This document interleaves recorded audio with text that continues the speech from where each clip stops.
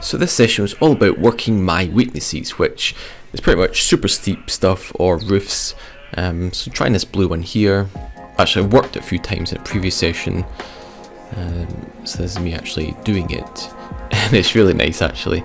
If all roofs were like this, I'd enjoy them.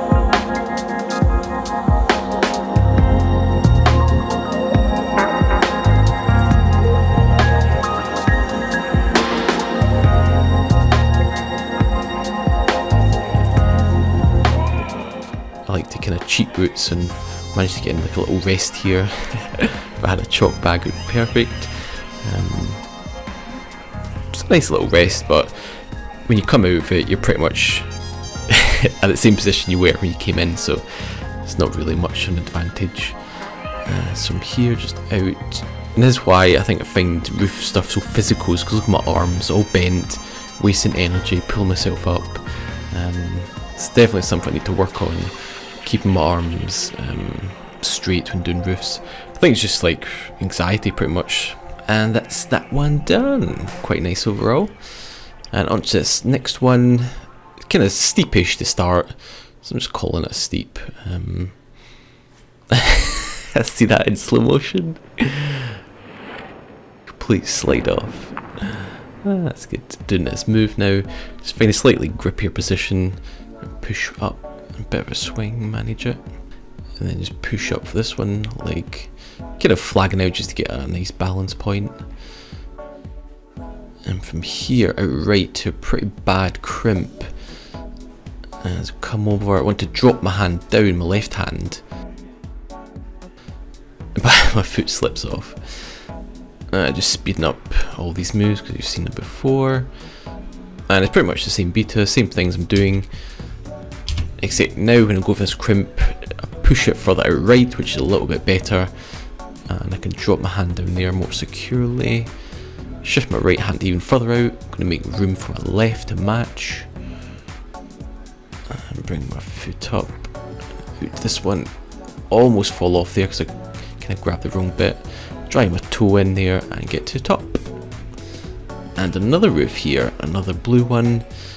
This one I managed to flash actually, which I'm quite pleased about.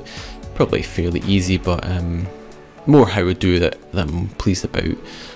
Keeping my arms fairly straight for most of it, and kind of just taking a more relaxed pace, you know, not rushing anything, just taking my time, finding good positions. And yeah, so the first section I do pretty well, middle not so much at least these next few moves here is a bit, I'm not sure if it is the perfect beta, but it's a bit of a thump, this move here. Not very elegant. And just some foot maneuvering, get some nice positions, keep those arms straight. And that's the top. And then finally back onto the slabby one. This, this was the red from last time, didn't manage it, but give it another try here as fell off the last hold last time so I should get it here. If I can remember the beta because that's not it I should foot switch here. There we go. And just drive those hips in close as possible. Makes that match much much easier. Another foot switch. That's actually something else I need to work on foot switching from the last video realised my foot switching technique is not too good, not smooth enough, so I need to work on that. Alright, onto this tiny crimp now. Need to try my fingers first. And final push. And no pop this time. and match. And that was me done.